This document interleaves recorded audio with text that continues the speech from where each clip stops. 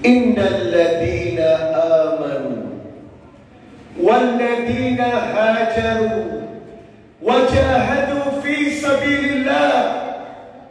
Ulaika yarjuna rahmatallah. Wallahu ghafurur rahim. Sesungguhnya orang-orang yang beriman dan orang-orang yang berhijrah dan orang-orang yang berjihad di jalan Allah ulaika yarjuna rahmatallah. Mereka lah tiga golongan orang-orang yang dijanjikan rahmatnya Allah. Wallahu ghafurur rahim. Dan Allah maha pemaaf dan maha penyayang. Quran Surah Al-Baqarah ayat 218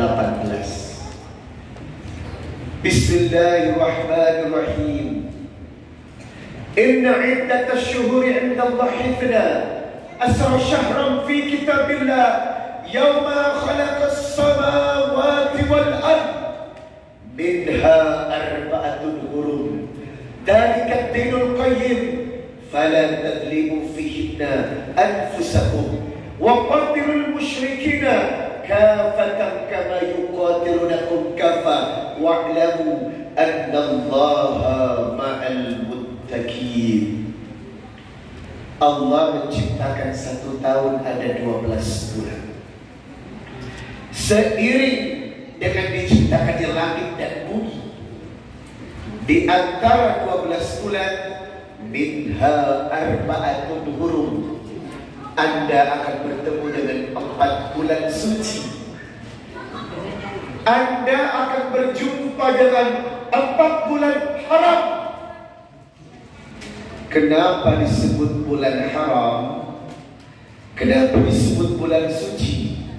Siapa yang berjumpa dengannya sikap yang mesti saya dan anda lakukan fala tadlimu fihinna anfusakum. Dilarang berbuat dosa dan dilarang berbuat maksiat. Siapa yang berbuat dosa di bulan itu?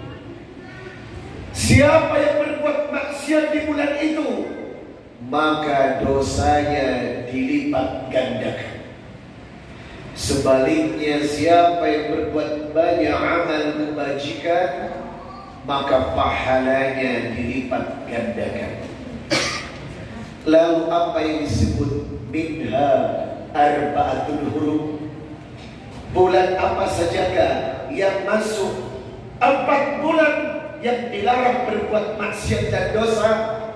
Jawabannya adalah hadis Rasulullah sallallahu alaihi wasallam.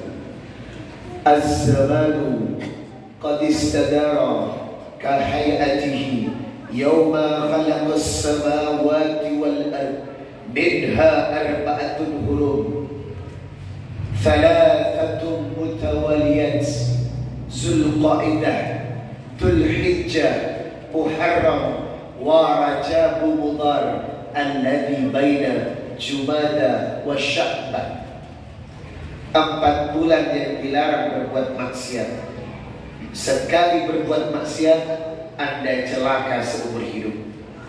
Bulan apa sajakah Zulqaidah Zulhijjah Muharram Dan bulan Rajab. Maka berhati-hatilah Memasuki empat bulan ini. Empat bulan ini disebut syahrullah Bulan haknya Allah.